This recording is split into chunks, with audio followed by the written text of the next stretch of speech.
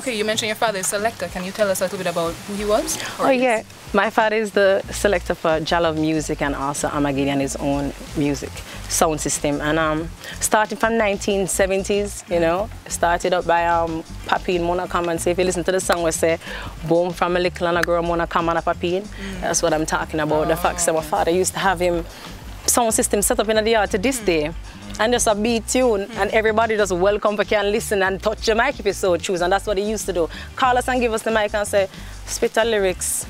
As a little girl? Yeah, sing a song, wow. do something, you know, because he's always there selecting for the upcoming parties and, you know, I give thanks to my father. I think that is the first influence for music for me. Yeah, man. The little girl, As a little girl, three years old.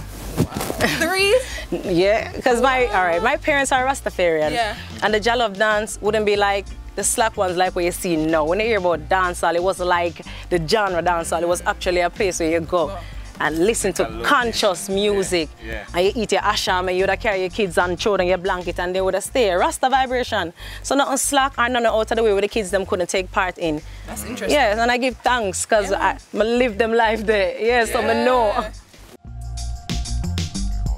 So in terms of your visuals out there, Rachel just mentioned some of the stuff you have online. Um, tell us about some of the music videos you have, because you have some wicked music videos online you should definitely check out. I give thanks first for the compliment. So do you think that your fans would judge you if you were to make a, you know, a secular song or a non? What is First of all, getting right into the interview, I have to ask you. Right. Why music? Why music?